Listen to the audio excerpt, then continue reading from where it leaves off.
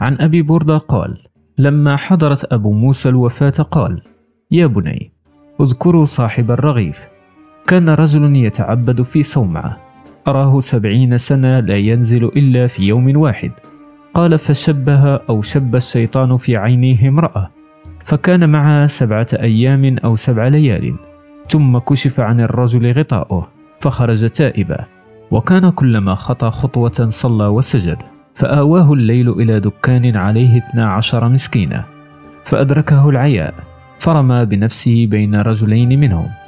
وكان ثم راهب يبعث إليهم كل ليلة أرغفة فيعطى كل إنسان رغيفا.